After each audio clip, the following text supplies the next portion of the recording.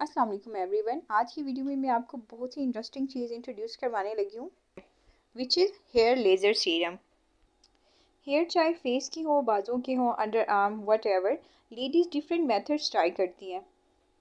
I know that हर लड़की की यही सोच होती है कि ऐसा मेथड हम फॉलो करें, जिससे जो हेयर की ग्रोथ है वो कम होना शुरू हो जाए.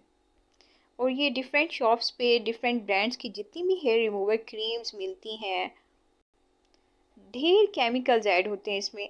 जैसे ही आप हेयर उससे क्रीम से रिमूव करती हैं, एक दिन सेकेंड डे अगेन बाल निकलना शुरू हो जाते हैं। उनकी रूट्स जो है वो पहले से ज़्यादा स्ट्रॉन्ग हो जाती हैं, क्योंकि रूट से तो वो निकलते नहीं हैं, ऊपर से कट हो जाते हैं। सेकेंड स्टेप आ जाता है थ्रेडिंग का। अब ज़ाहिर हर लड़की को थ्रेडिंग भी नहीं आती है। फोर्थ थर्ड पे आ जाता है वैक्स का। अब जिस बहन को थ्रेडिंग नहीं आती वैक्स करने नहीं आती है, ज़ाहिर उन्होंने तो सैलून जाना है। महँगाई के साथ साथ मुझे पता है कि सैलून्स के खर्चे पूरे करना हर लड़की के लिए मुश्किल होता है।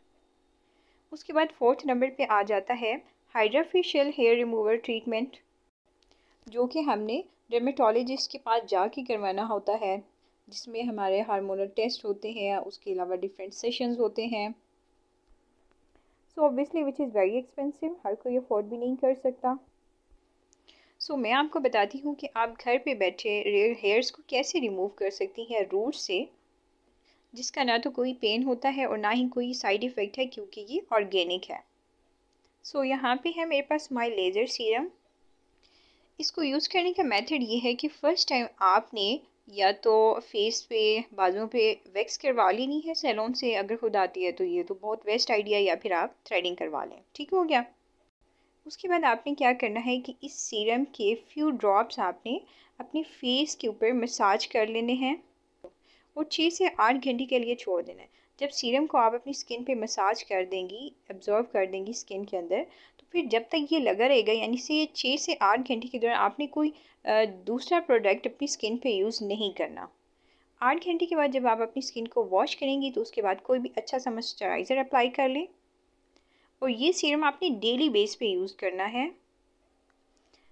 सेकेंड टाइम जब आपके बाल निकलेंगे तो आप देखेंगी कि हर सेशन के बाद आपके जो हेयर्स हैं, वो पहले से ज़्यादा कमज़ोर और बारीक हैं। And within two months आपके जो हेयर हैं, वो प्रॉपर रिमूव हो जाएँगे। इनकी वेबसाइट का लिंक आपको स्क्रीन पे भी नज़र आ रहा है। इसके अलावा मैंने डिस्क्रिप्शन में भी मेंशन कर दिया है।